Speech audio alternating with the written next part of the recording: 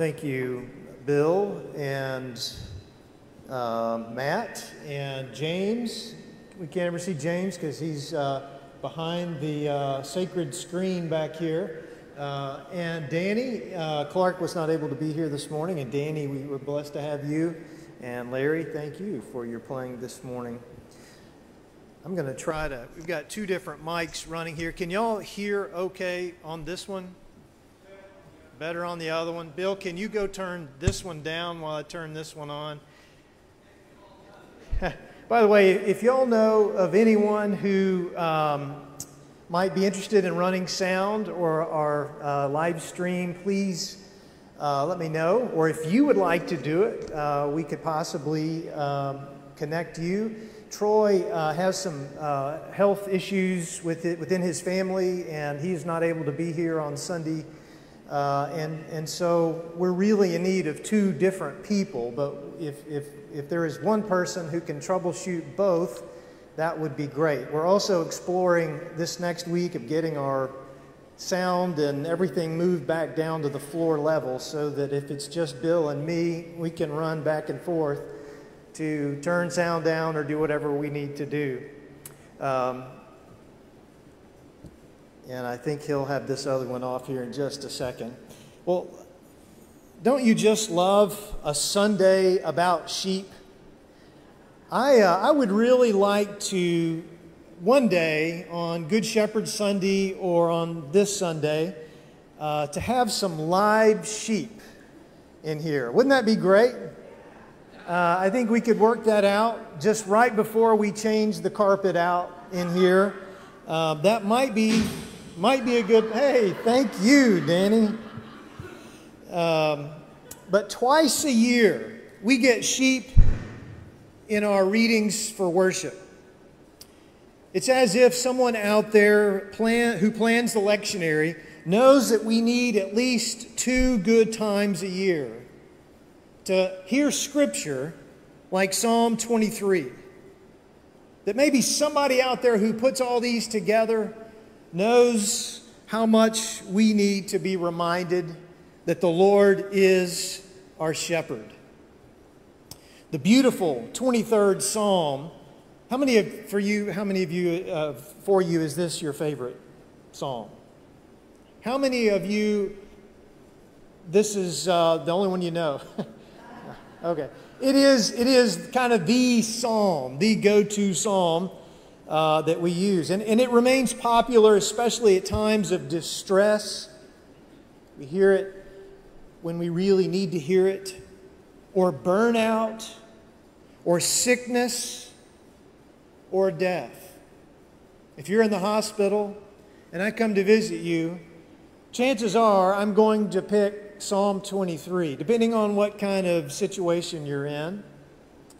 Um, there are other scriptures that we use, but it seems like for everyone, most everyone, even when I was a hospice chaplain and working with people who weren't Christians, they found comfort in the 23rd Psalm. But people throughout the ages have sought and found comfort in its poetic journey from green pastures and still waters through the valley of death and then to an eternal dwelling in the house of the Lord. Beautiful imagery, isn't it? Sitting here in our inner city context of pavement and urban density, we know very little about sheep. But we find ourselves identifying with them as we read and hear these memorable words. We bookmark, frame, memorize, and perhaps even tattoo this psalm out of our love for it. And also because we know how much we are like sheep. Aren't we? You ever feel like a sheep? Vulnerable in this world and much in need of a shepherd to guide, to rescue, and to care for us. Well, each week there are usually several videos that go viral in social media. Most of them recently have been difficult to watch right? But from we have one from this week that has gotten a lot of laughs. And uh, its star isn't someone dancing, it isn't a bear encounter a cat being a cat, Debbie? You probably have contributed more cat viral videos to YouTube than anybody. No? You keep yours private? And it's not a monkey brushing his teeth, although those are good to watch too. It's a sheep. And I think if all goes well, I'm going to be able to show it on these screens. So bear with me for just a second and let's see. Maybe you've seen this. It's a short video, so watch it here.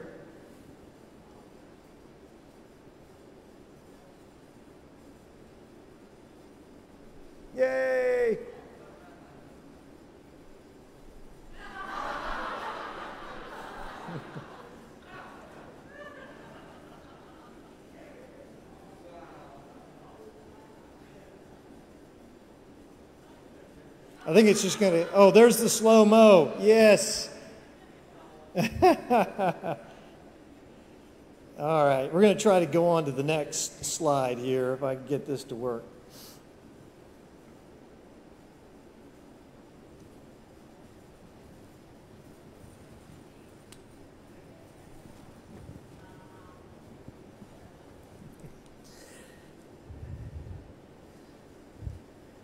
We laugh at that crazy sheep. But maybe we are really just laughing at ourselves, right? Chances are we've been there.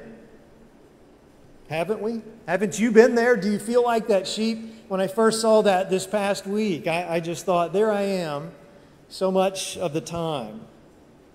A sheep in trouble, stuck in the pitfalls of life, freed by a good shepherd, only to run right back into trouble.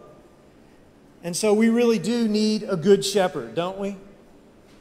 The reading from John's gospel this morning reminds us of God's awareness of our need for a shepherd. We hear Jesus identifying himself to his followers not only as a shepherd, but as the good shepherd. There are some shepherds out there that aren't good, right? His followers understood themselves, their identity as Israel, as God's flock. And they were beginning to understand what Jesus meant as he referred to himself as their good shepherd. Especially decades later, when John's gospel was written, as it was written for a church living in full crisis mode after the Romans laid waste to Jerusalem and destroyed the temple. I mean, everything that they love, everything that's familiar to them, has been destroyed. The place where they recognized God coming to meet with them was gone, destroyed. If ever they felt like vulnerable sheep in need of a shepherd, it was then. And John wanted his readers to reflect on how Jesus was still the good shepherd. Yeah, all that stuff has happened. John writes, but he is still the good shepherd, one who demonstrated his goodness in the fact that he laid down his life for his sheep. So I guess in that video, the shepherd would be the one that jumps into the crevice so that the sheep would not fall into the crevice or to rescue the sheep from the crevice. And John describes Jesus as the one who laid down his life for his sheep. And by the way, not just his sheep, but the sheep of other flocks, right? For, for all sheep, this good shepherd. Well, like the people John's gospel was written for, we live in a world with powerful empires, violence, destruction, and disease. We have experienced the fragility of our human existence in this last year more than ever in recent history. We've also felt this as Americans, seeing how close we came to losing our democracy. And many white Americans have become more in tune with just how fragile life is if you are black, if you are Asian, if you are indigenous or people, any person of color in this nation. As we recognized on Earth Day this past week, our planet isn't in such good shape either, is it? Headed quickly down a path that we have made that can make our planet inhabitable in the not so distant future. I could go on, but you get the idea, right? We are so much like that sheep stuck in the crevice. We have done a horrible job shepherding ourselves, haven't we? I mean, I know when I try to shepherd myself, uh, it doesn't end well. And I think that's true for all of us. And for us, as we live on this planet, in this world, we have not done such a good job of that. Don't you make a mess of your life when you take charge of it like you don't need help? I mean, we need a shepherd, one that is good. And are we aware of the kind of leadership and care that we have available to us from Jesus? I mean, as you came in this morning, as you sat down, were you at all aware in that moment or in this moment of worship or when you go out into this next week of the kind of leadership and care that is available to you as a sheep in God's flock? How wrong it would be for us to overlook his loving care for sheep like us. How deficient our lives would be without the words, the stories, and the expressions of Jesus to nourish us, to feed our souls and our bodies, and to get us through those valleys of death that inevitably come our way. How lost we would be without a shepherd who not only pursued us when we were lost, but also willing to lay down his life to save us. Well, as we have heard from the reading from 1 John today, the sheep and the shepherd emphasis is not just about us as individual sheep. What Jesus the shepherd has done for us has everything to do with what we do for the people around us, right? As John writes, little children. And we all are all like little children, aren't we? Uh, some say John is, is really uh, a little bit aggravated uh, with the people he is writing to, the churches, and the bickering and uh, some of the, uh, the problems that they're having in their congregations. He says, Little children, let us love, not in word or speech because they were doing a lot of that. They were doing a lot of words and a lot of speech and a lot of other things. But he says, let us love in truth and in action. The author knew his audience, aware how messy things can get inside of their church. Isn't that true for all churches? So he reminds them of the kind of love that Jesus had for them the kind that takes the form of laying down one life for another. And this is the kind of love that they were to have for each other. And this is the kind of love that we are to have for each other in our church, but also out there in the world around us. As we leave from this building, as we encounter people at the grocery store or uh, in line somewhere, or uh, as we go back to work, or we go into our schools, wherever we are. We are to imitate the same love that led the Good Shepherd to lay down his life for the sheep. And out of our awareness of how this has been done for us, we are to go out and show love to others with truth and action.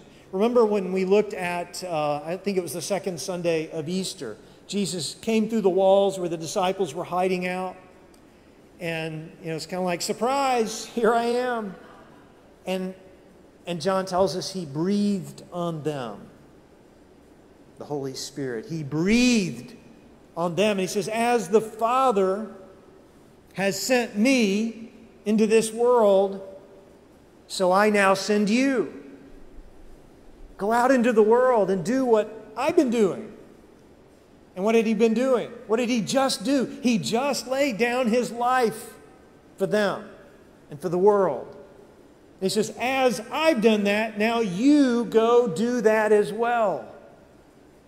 It's not going to be easy, but it's what God has given us to do. It is what's going to change the world. And we are to do that as well in truth and action. Is it really love if there's no action attached? Is it really love? The true test of our religion and our devotion to God is not what words we use or our statements about what we believe to be true, but what we do for our sisters and our brothers. And that's not just those gathered, gathered in our church buildings or in our religious groups, it's for everyone. Who among us today needs that kind of love? I think we all do. Probably the person sitting next to you or down the pew from you this morning, they need that kind of love. They need love with some action. And who out there, sheep outside of our church in this next week, could benefit from actions and not just words? Now that we have focused on sheep and shepherds a while, you may be wondering what any of this has to do with a fourth Sunday of Easter. Isn't it great to know that our risen Savior is the shepherd who laid down his life unto death for us all? He did it, just like he said he would. And isn't it even greater to know that he is risen from the dead? Hang on a minute. He has risen from the dead. Ah, oh, you, you got it. Y'all are staying with me that he is risen from the dead to shepherd us still, to lead us where we need to go, and to help us care for the sheep around us. Yes, we have a resurrected shepherd who is guiding our lives. He will do it just like he said he would. But what kind of sheep will we be? In this next week, in all the things that you have before you, the, the things that you have to do, the difficult tasks, the easy tasks, the times when you're busy, the times when you're at leisure. What kind of sheep will you be? Well, wherever you are as a sheep and whoever you are as a sheep, may you remember that you have a shepherd and that your shepherd is good. Let us pray. Oh, Good Shepherd, we give thanks today, for we know how vulnerable we are. We know how prone to wonder we are. We know how stupid we can be, jumping right back into the trouble that you just got us out of. And yet you come to us with your grace and your mercy your forgiveness, your redemption. May we immerse ourselves in knowledge of that this morning. And as we go out into this week, may we carry it with us to share it with the people, the world around us. In Christ's name we pray. Amen.